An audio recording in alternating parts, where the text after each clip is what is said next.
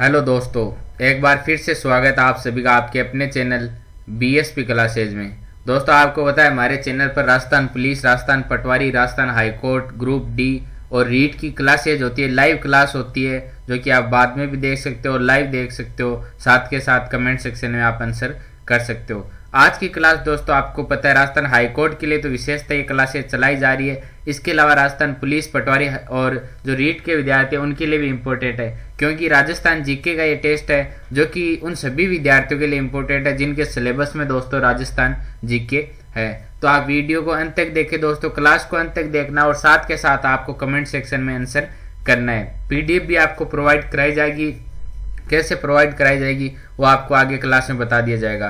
तो बढ़ते हैं हम दोस्तों टेस्ट की तरफ़। आगे बढ़ने से पहले जो चैनल पर नए विद्यार्थी हैं और अभी तक चैनल को सब्सक्राइब नहीं किया है तो सब्सक्राइब करें और सब्सक्राइब करने बाद पास में लगा बेल बटन ज़रूर दबाए। इसी के माध्यम से हमारे सभी क्लासेज की अपडेट आपको मिल सकेगी। क्वेश्चन नंबर फ़र्स्ट दोस्तों, लगभग आज नृत्य, जो राजस्थान के प्रमुख लोक नृत्य हैं, उनसे जो इम्पोर्टेंट क्वेश्चन है, वो छाट के अलग से दोस्तों ये टेस्ट बनाया गया है और कुछ दोस्तों जो रचनाएँ राजस्थान के कुछ प्रमुख जो दोस्तों आपके, वो एग्ज़ाम में पूछी जाती है बहुत बार, उनसे रिलेटेड आज का ये टॉपिक है। आपके लिए इंपॉर्टेंट है, सारे के सारे क्वेश्चन क्योंकि सारे क्वेश्चन एग्ज़ाम में पूछे हुए क्वेश्चन है, उनसे रिलेटेड क्वेश्चन है। क्वेश्चन नंबर फ़र्स्ट है, नौटंकी तथा रामलीला राजस्थान के किस भाग में अधिक लोकप्रिय है, ये आपको बताना है। तो दोस्तों, नोटंकी और जो रामलीला है, वो राजस्थान के आपके पूर्वी जो राजस्थान है यहाँ पर दोस्तों लोकप्रिय है। ये नहीं है कि कहीं और ये नहीं होता है, हर जगह होता है, लेकिन जो ज़्यादा दोस्तों प्रसिद्ध है, लोकप्रिय है, वो आपके राजस्थान में जो पूरी राजस्थान है, यहाँ पे प्रसिद्ध है और एग्ज़ाम में ये क्वेश्चन पूछा जाता है इस प्रकार से। मेवाड़ के अरावली क्षेत्र में भील जाति का लोक नृत्य कौन सा है? दोस्तों, भील जाति का लोक नृत्य कौन सा है? वो भी आपके जो मेवाड़ के अरावली क्षेत्र में रहने वाले भील जाति के लोग हैं। उनका जो आपका प्रमुख नृत्य है, नीचे दिए गए ऑप्शन में से वो कौन सा है? तो आप यहाँ देख पा रहे हो दोस्तों, गौरी नृत्य के बारे में मैंने आपको काफ़ी बार बताया है और ऑप्शन डी इसका राइट आंसर हो जाएगा। गौरी नृत्य यहाँ पे राइट आंसर है। नेक्स्ट क्वेश्चन इनमें से रम्मत क्या है? दोस्तों, रम्मत क्या है? ये क्वेश्चन काफ़ी बार एग्ज़ाम में पूछ लिया गया है। लगभग राजस्थान के सभी एग्ज़ाम में ये क्वेश्चन एक बार तो ज़रूर पूछा गया है। तो रम्मत दोस्तों क्या है? ये आपके लोक नाट्य है। कुछ विद्यार्थी जो है इसको गलत करके आते हैं, कहीं पे इसको संगीत नाट्य करके आते हैं। या चित्रकला करके आते हैं, लेकिन आपको ध्यान रखना है रमत एक लोक नाट्य है दोस्तों। लोक नाट्य की सबसे लोकप्रिय विद्या कौन सी है? नीचे दिए गए ऑप्शन में से आपको बताना है। तो दोस्तों रमत एक लोक नाट्य है, लेकिन जो लोकप्रिय विद्या है, वो आपके ख्याल है। ऑप्शन ए इसका राइट आंसर हो जाएगा, ख्याल जो लोक नाट्य है, वो सबसे लोकप्रिय विद्या है लोक नाट्य की राजस्थान में। ऑप्शन ए यहाँ पे इसका राइट आंसर हो जाएगा। अब जो चैनल पर नए विद्यार्थी आए और उनको ये नहीं पता कि पीडीएफ कैसे मिलती है दोस्तों तो पीडीएफ के लिए आपको हमारे चैनल के डिस्क्रिप्शन में टेलीग्राम ग्रुप व्हाट्सएप ग्रुप जैसे सोशल मीडिया लिंक दिए गए दोस्तों, जैसे Telegram WhatsApp Facebook page Instagram page TikTok इन सब के दोस्तों आपके लिंक दिए गए वहाँ पर जाके आप डायरेक्ट उनको दोस्तों फॉलो कर सकते हो ज्वाइन कर सकते हो। वहाँ पर आपको हमारी जितनी भी Rajasthan police, patwari high court group D REET की क्लासेज होती हैं, उनकी आपको वहाँ पर अपडेट मिलेगी और पीडीएफ भी मिलेगी। क्वेश्चन इस प्रकार है, अग्नि नृत्य। दोस्तों, अग्नि नृत्य का जो उद्गम है, वो राजस्थान के किस ज़िले से हुआ है? तो अग्नि नृत्य का उद्गम दोस्तों आपके राजस्थान के बीकानेर ज़िले से हुआ। ऑप्शन बी यहाँ राइट आंसर हो जाएगा। अब अगर आप रेगुलर और हमारे पीछे के रेगुलर टेस्ट देखते हुए आ रहे हैं तो आप बताइए, अग्नि नृत्य कहाँ का प्रसिद्ध है राजस्थान में? किस क्षेत्र का है? नेक्स्ट क्वेश्चन है, कौन सा नृत्य राजस्थान में फतेह फतेह कहते हुए किया जाता है? दोस्तों, राजस्थान में ऐसा एक नृत्य है, जो नृत्य करते हुए फतेह फतेह कहते हुए किया जाता है। और ये कौन सा नृत्य है? ये आपके अग्नि नृत्य ही है, जिसका उद्गम दोस्तों बीकानेर से हुआ है। ऑप्शन बीस का राइट आंसर हो जाएगा।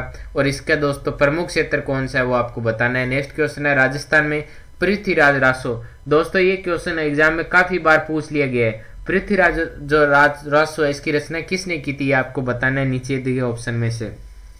कुछ विद्यार्थी तो साथ के साथ कमेंट कर रहे हैं और मुझे उम्मीद है उनका कंफर्म सिलेक्शन होगा जो विद्यार्थी कमेंट कर रहे हैं। क्यों? क्योंकि उन लोगों में हिम्मत है करने की कमेंट में आंसर कुछ विद्यार्थी तो इस डर से आंसर नहीं करेंगे कहीं गलत ना जाए। अगर यहाँ गलत होगा तो आपका कुछ नहीं होने वाला, लेकिन एग्ज़ाम में गलत हो जाएगा तो बहुत कुछ हो जाएगा।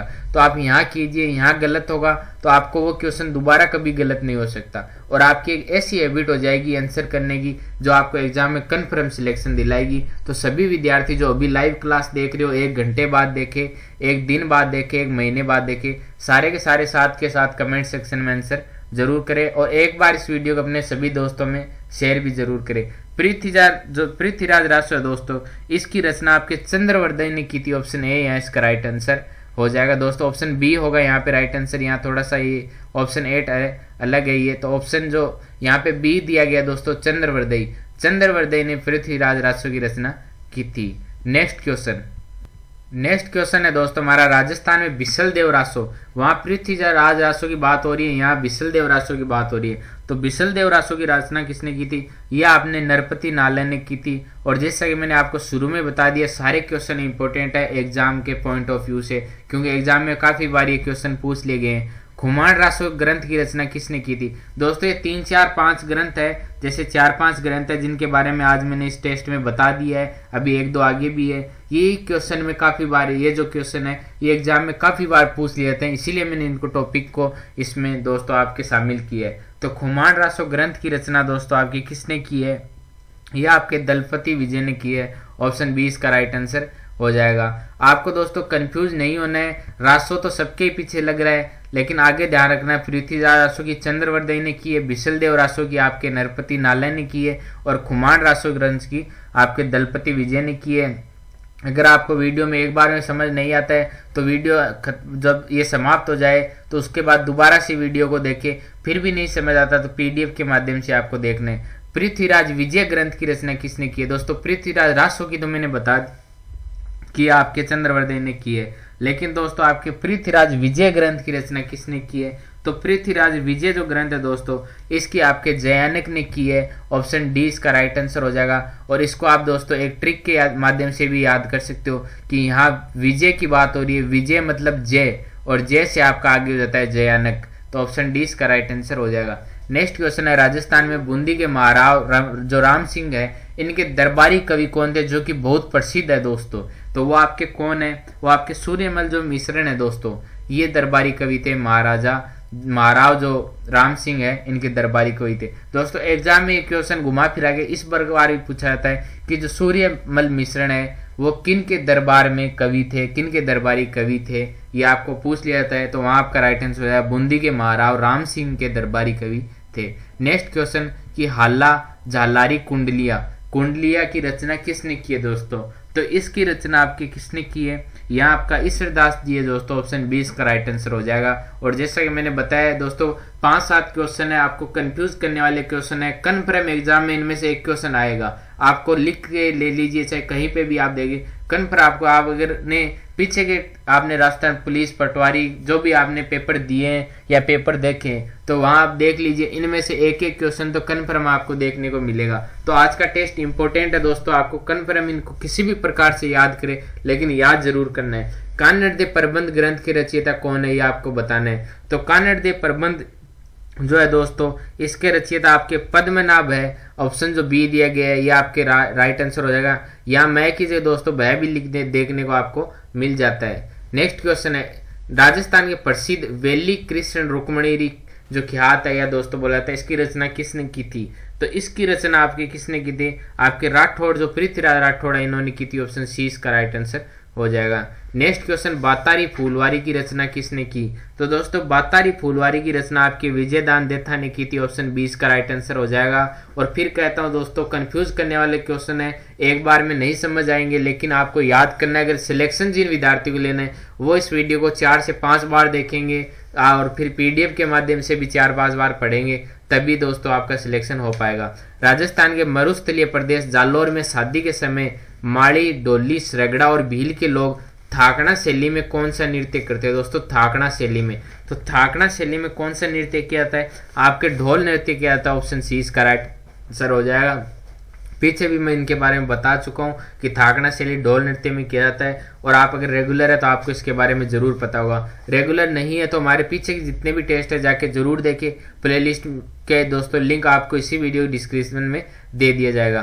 महाराणा कुंभा द्वारा रचित कुछ ऐतिहासिक नाटकों में से राजस्थान की किस बोली का प्रयोग हुआ है? तो महाराणा कुंभा ने जो दोस्तों रचित किए थे कुछ ऐतिहासिक नाटक, वहाँ में आपके दोस्तों कौन सी भाषा का प्रयोग किया उन्होंने? तो वहाँ आपके मेवाड़ी भाषा का प्रयोग किया है, जैसा कि पीछे भी मैं इसके बारे में आपको बता चुका हूँ। नेक्स्ट क्वेश्चन है कि स्त्रियों द्वारा कमर से एडी तक पहने जाने वाला वस्त्र कौन सा है राजस्थान में? तो ये दोस्तों कौन सा हो जाएगा? आपके घाघरा हो जाएगा ऑप्शन सी हो जाएगा उसका राइट आंसर कि कमर से एडी तक पहने जाने वाला ये स्त्री द्वारा ये एक वस्त्र है। नेक्स्ट क्वेश्चन है, निम्न में से राजस्थान में नाक में नहीं पहने जाने वाला, दोस्तों क्वेश्चन को ध्यान से पढ़ना आपको, कि नाक में नहीं पहने जाने वाला आभूषण कौन सा नीचे दिए गए ऑप्शन में से आपको बताना है। और राजस्थान हाई कोर्ट के जो विद्यार्थी हैं, उनके लिए आज की क्लास बहुत ही ज़्यादा इंपॉर्टेंट है। सारे मिक्स्ड क्वेश्चन है, जो कि एग्ज़ाम में पूछे हुए क्वेश्चन है, और कन्फर्म आपके एग्ज़ाम में पूछे भी जाएँगे। तो यहाँ पर दोस्तों आप देख सकते हो कि नथ है चौंप और कांटा है। ये तीनों के तीनों आपके नाक में पहने जाते हैं, लेकिन ओला है, ये आपके नाक में नहीं पहुंचाता है। पहना जाता है तो ऑप्शन डी इसका राइट आंसर हो जाएगा। नेक्स्ट क्वेश्चन ईसाई समाज के लोग ईसा मसीह का जन्म किस अवसर पर न मनाते हैं? तो आप सभी को पता है 25 दिसंबर क्रिसमस डे के रूप में मनाया जाता है ऑप्शन 20 का राइट आंसर हो जाएगा। और दोस्तों, कुछ विद्यार्थियों को इसका आंसर भी गलत करके आते हैं एग्ज़ाम में। गलत किस वजह से करके आते हैं? टाइम मैनेजमेंट की वजह से, दोस्तों। तो अगर आप टेस्ट के माध्यम से पहले पढ़ लेते हैं तो आपको किसी प्रकार के एग्ज़ाम में परेशानी का सामना नहीं करना पड़ेगा। दोस्तों, मुझे उम्मीद है वीडियो पसंद आई होगी। पसंद आई है लाइक कीजिए। अपने दोस्तों में भी इस वीडियो को शेयर कीजिए। और दोस्तों पीडीएफ के लिए मैंने आपको बताया है, नीचे सोशल मीडिया लिंक की जो है दोस्तों, आपके लिंक दिया गया वहाँ जाके आप ज्वाइन कर सकते हो। और अगर आप चैनल पर नए हैं, अभी तक चैनल को सब्सक्राइब नहीं किया है तो सब्सक्राइब कर ले और सब्सक्राइब करने के बाद पास में लगा बेल बटन ज़रूर दबाए। धन्यवाद दोस्तों।